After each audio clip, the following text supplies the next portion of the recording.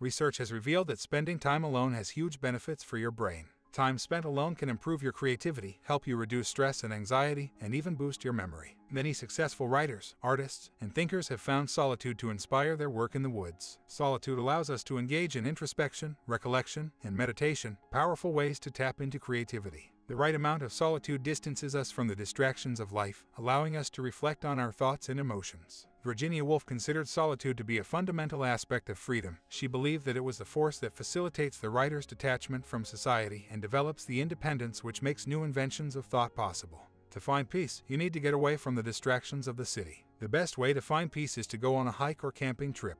It's a beautiful experience. When people spend time in solitude, intentionally and purposefully with no distractions, they begin to experience what is commonly known as transcendence. This experience goes beyond the conscious mind. It transcends the mind so that the person is one with what they encounter. Modern society promotes individuality, but solitude is rarely accepted as a legitimate form of self-expression.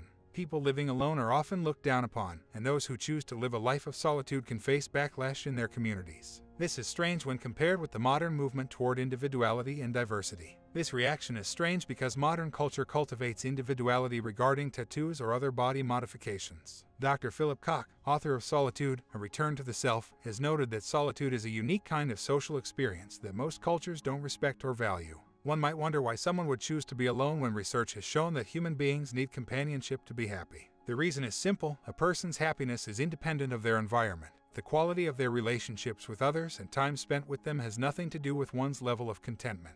Moreover, it is widely accepted that a person can be happy but still spend time alone. You might be wondering about what it means to live a life of solitude. Is it something you can sustain, or is it merely a phase you're going through? Whatever the reason may be, there are steps that you must take to ensure that you are leading a healthy, happy life without anyone else by your side. One of the first things you must do is identify what fears you have regarding your solitude. But these fears aren't genuine, they're just your mind's defense against perceived risk.